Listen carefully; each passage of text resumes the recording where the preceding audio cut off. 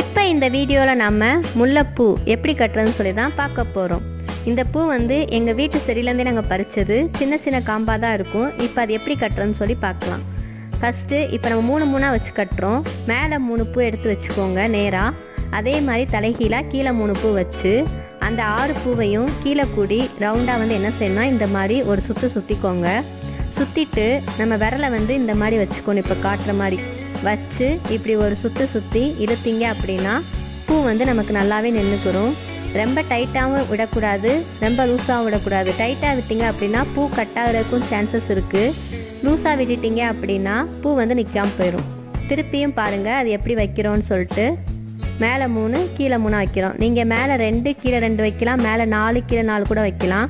நம்ம எவ்வளோ வைக்கிறோமோ அதுக்கேற்ற மாதிரி பூ பார்க்க அழகாக இருக்கும். அடர்த்தியாகவும் தெரியும். இந்த மாதிரி கீழே சுற்றிக்கோங்க சுற்றிட்டு அப்படியே மேலே வந்து இப்படி வச்சு விரல் இப்படி வச்சு அந்த பூவை வந்து இப்படி சுற்றி எடுத்துட்டீங்க அப்படின்னா அது கரெக்டாக நின்றுக்கிறோம் ஃபஸ்ட்டு கட்டும்போது கொஞ்சம் கஷ்டமாக தான் இருக்கும்.